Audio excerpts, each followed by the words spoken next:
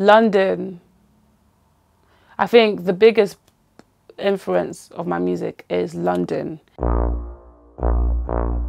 Jazz is such a malleable form that whenever you get different spheres of influence, you know, meeting it or attaching themselves to it, then it becomes something else. It becomes something specific to that location. The reason that jazz is able to evolve and reinvent itself and stay relevant is because it is centered around telling your own story and reflecting the time that you're going through. It's like a rawness that you just can't get from anywhere. I think that's the rawness of London that you're hearing. Everyone is creating something diverse and real and passionate. We love what we do. It is what it is. It is an experience that could only have been born from, you know, us here in London or in the UK.